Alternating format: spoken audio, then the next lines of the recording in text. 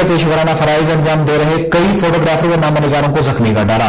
खबर एजेंसी के एनएस के मुताबिक सोपोर में असम्बली इंतबात की कवरेज के सिलसिले में आज सुबह मकामी और बैन अवी सहाफती बरदरों से वाबस्ता रिपोर्टर और फोटोग्राफर मुख्तलिफ़ इलाकों का दौरा कर रहे थे। इस सिलसिले के दौरान जब ये टीम आरेपुरा के नज़दीक पहुँची तो वहाँ लोगों की एक बहुत बड़ी तादाद पुलिस स्टेशन के बाहर एहतजाज कर रही थी।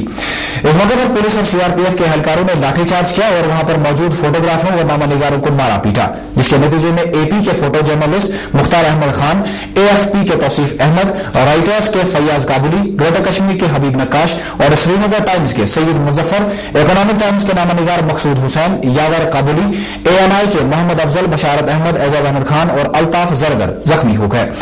बरियाजना Kashmir photographers association Kashmir press association और federation of working journalist Kashmir ने सोपोर में सहाफियों पर किया गया तशद की शदीद अल्फाज मजम्मत की है और इस पूरे मामले की तहकीकत का मुतालबा किया है।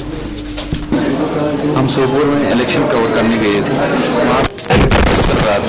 तो हम कवर करने गए प्रोटेस्ट पीछे से पुलिस आ गई। एसपी ने कहा कि इनको पीटो पहले प्रेस वालों को। तो फिर सीआरपी भी आ गई, हमारी पिटाई की उन्होंने। फिर हमने कार्ड भी दिखा था प्रेस वाले कैमरा थे, हमारे हाथ।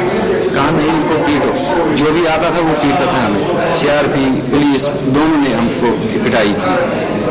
तो कम से कम दस पंद्रह मिनट तक हमारी पिटाई हुई। फिर वहाँ से भाग गए। दो आदमी थे हाउस एक मकान में गए थे, वो वहीं पे छुप गए थे। एक और सीरियसली इंजर्ड हेड इंजरी है उसकी।